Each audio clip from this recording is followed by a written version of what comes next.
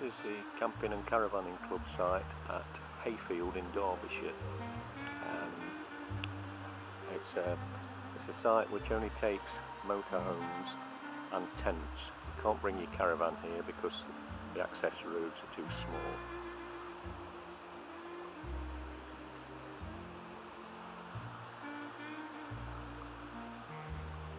It actually runs alongside a beautiful stream as you can see down that path you can get into the village of Hayfield quite easily. It takes about five ten minutes walk down there. Lovely walk as well. And there's about uh, three pubs down there I think all of which serve meals. And the village itself is quite nice. There's some shops there.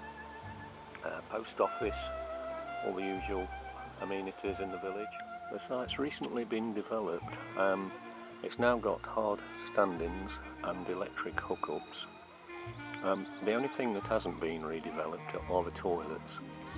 And um, although the toilets are very clean, I would say they're not quite as modern as a normal club site toilets. But there are three showers and, um, and toilets in there. Uh, it's perfectly clean, like I say, but um, but not quite as modern as some sites.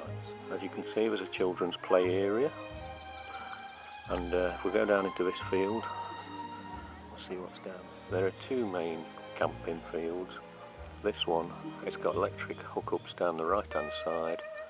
Um, it's mainly grass, no hard standings on this particular area.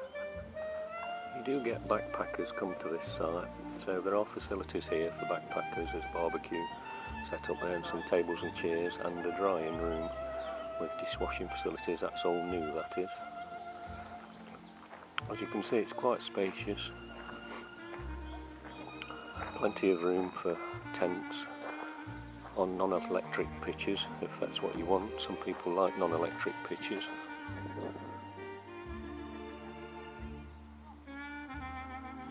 You've got um, dishwashing facilities there with uh, free hot water. All under cover to keep you out of the rain.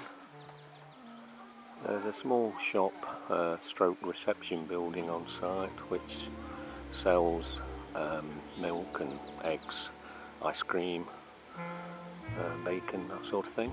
Just a small shop really. They also loan out um, books if you like to read while you're on holiday. This is the other camping field. As you can see this one's got hard standings on now. Uh, this is all new um, plus electric hookups. So it's got um, really well made road on this side of the site. Uh, old tarmac, so there's no problem getting on and off the site.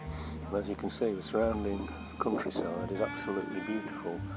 Lots of footpaths um, actually going through the site and uh, lots and lots of walking uh, if that's your thing plus there is a cycle track which goes down an old railway line into New Mills.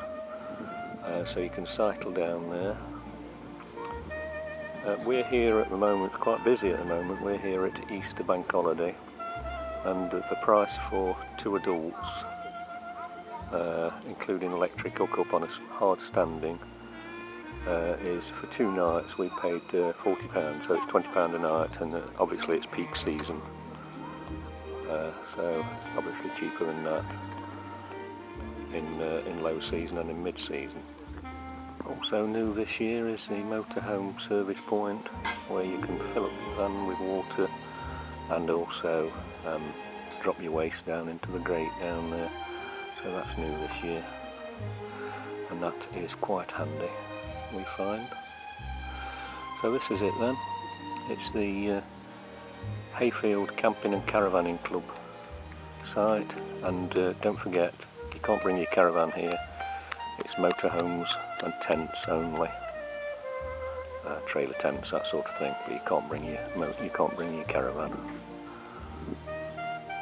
Beautiful site in beautiful countryside